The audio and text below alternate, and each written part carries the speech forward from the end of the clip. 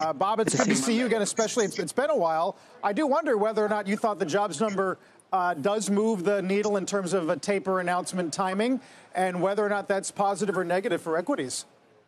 Uh, I'll go one step further from Steve. I already wonder is the Fed behind the curve? I think that's the question we have to ask. Remember, rates are zero, and the hourly number from Friday year over year has now crossed 4%. Uh, I'm worried that the Fed's going to lag the curve too much and needs to get started. So I would think a strong hint in September and probably starting before the end of the year. Valerie, you think markets primed for that kind of calendar? Well, I think we have to look at some of the data that's actually going to be coming out this week. Um, as someone just mentioned, we'll get the consumer price index data this week, and also importantly, the producer price index, which will also give us another indicator of inflation.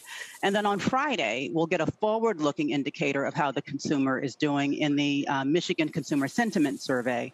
So I think that the, the challenge we have is that perhaps two months ago, everyone would have said all is well. We really see a clear path, you know, out of this um, economic situation. But the Delta variant has quite frankly changed all of that. I think it's been much more of a severe um, impact than people had expected. Um, I don't know if ultimately some segments of the economy will have to shut down in order to control uh, the virus and, and, give the healthcare system some time to recover.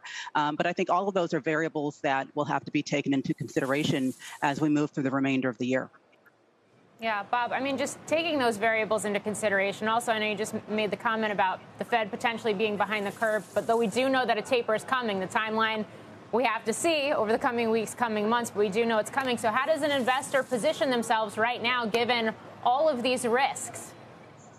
So, I think investors that have uh, enjoyed this 100% move off the bottom in the last 18 months can afford to take a little money off the table, Morgan. Um, I'm not bearish. I just think it gets choppier from here.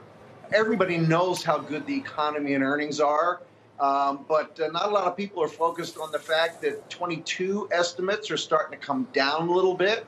That the third quarter earnings are likely to be below the second quarter, even though they'll be healthy above last year's third quarter. So it's uh, it's mostly positive. The old Tina, there is no alternative argument, uh, but I think it gets harder and choppier from here.